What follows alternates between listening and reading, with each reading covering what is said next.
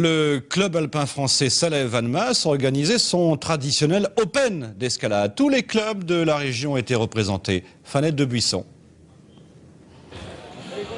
Une chorégraphie de groupe?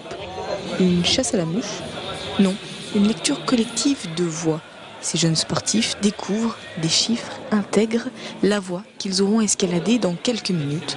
Une étape décisive de la compétition. On va pas voir les autres grimpeuses dedans, donc euh, donc c'est à nous depuis, euh, depuis, la, depuis le sol de découvrir les méthodes, euh, trouver comment on va passer, savoir quelles prises tiennent, où sont les repos et pour mieux anticiper la voie. Il faut savoir où sont les repos, quand se reposer, où sont les sections dures pour accélérer, grimper plus vite. Mais avant l'épreuve de difficulté, les grimpeurs passent l'épreuve du bloc.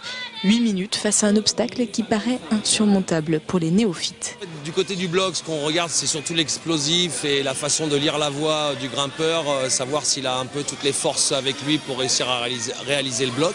Surtout que le niveau est très tendu euh, pour eux quand même, s'ils n'ont qu'un seul bloc à faire et les encourager quand on voit que la main est à quelques petits centimètres de la prise euh, ou alors s'ils n'ont pas vraiment la bonne méthode, d'arriver à les encourager pour arriver à passer euh, l'obstacle. Je suis assez content pour le bloc, mais les voies, non, parce que j'avais pas bien lu et je préfère la falaise, mais les compétitions, c'est bien parce qu'on peut se mesurer aux autres un peu.